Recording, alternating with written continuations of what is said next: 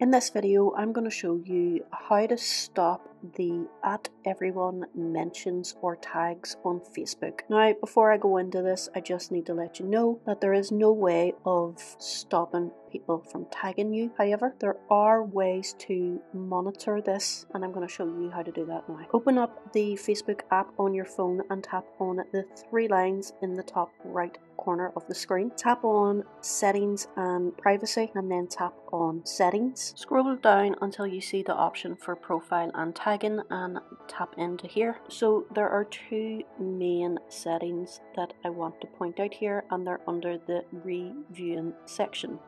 So the first one is review tags that people add to your posts before the tags appear on Facebook. So go into here, switch on review tags on your posts, which will basically allow you to review anything that is going to be posted before it actually does get posted. Now, the next setting I want you to go into is also under the reviewing section, and I want you to tap on review posts that you're tagged in before the post appears on your profile. So go into this and again switch that on.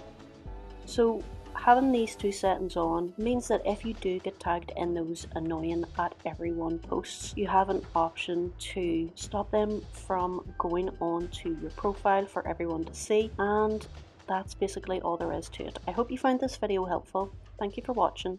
Until next time, peace.